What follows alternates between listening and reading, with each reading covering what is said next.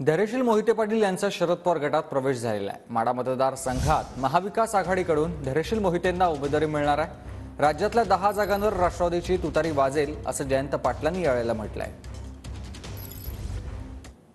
आज तुमच्या सर्वांच्या साक्षीनं दहावा उमेदवार धैर्यशील मोहिते पाटील.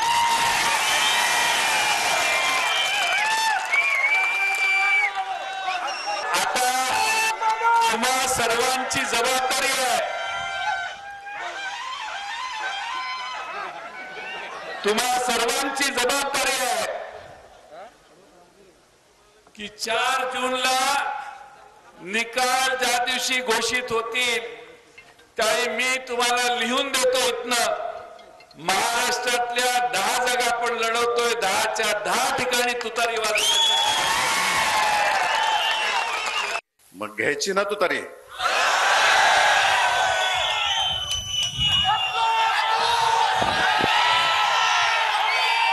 आपल्या सगळ्यांच्या